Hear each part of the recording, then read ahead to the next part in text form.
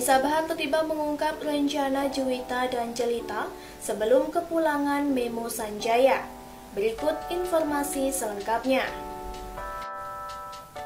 Anissa Bahar ungkap rencana Juwita dan Jelita yang belum terwujud usai Memo Sanjaya meninggal dunia.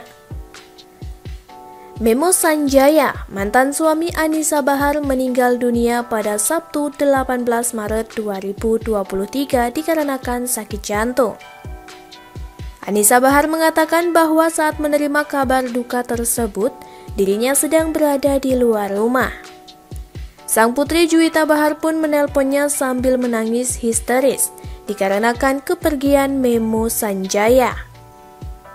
Mendengar jeritan dari sang putri, Anissa Bahar langsung beranjak pergi ke kediaman Memo Sanjaya di Tangerang. Sabtu sore meninggal dan langsung dimakamkan. Aku lagi di tempat pijat. Juwita telpon saya sambil menangis dan teriak kalau ayahnya udah enggak ada. Saya langsung berangkat ke rumah dia, ungkap Anissa Bahar. Ya, usai berpisah dari Anissa Bahar, Memo Sanjaya menikah lagi dan tinggal di Tangerang. Ia pun berpisah dengan kedua anaknya Jelita dan Juwita yang tinggal bersama Anissa Bahar di Cibubur. Juwita dan Jelita tinggal sama aku, lalu kami sama-sama ke Tangerang. Tambah Anissa Bahar. Anissa Bahar pun mengungkapkan bahwa anak-anaknya berencana untuk membawa sang papa ke Cibubur. Hal itu dikarenakan Memo kerap ditinggal istri dan anak yang sibuk bekerja.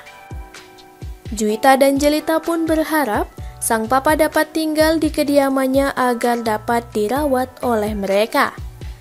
Namun rencana tersebut belum sempat terwujud hingga ajal menjemput.